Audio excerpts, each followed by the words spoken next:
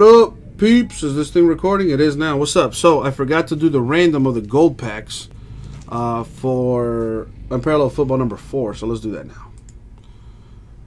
I'm to roll the dice. So, let me put the teams on the screen one more time. Just so everyone knows what they had. Boom, there it is on the screen. Freak, good looking out.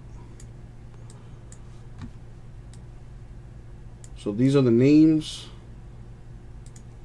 All right, we're gonna roll the dice. One plus four is five. So we're gonna go five times in the randomizer. Top three names will be receiving a VIP Panini Gold pack. All right, so the top three names will be receiving a gold pack. Let's put the random on the screen. Now I go by the names for the gold pack, so there they are, all the names there. We're going to go five times. Top three win a gold pack each. Good luck. I no longer need that. Three. And the money shot. Five.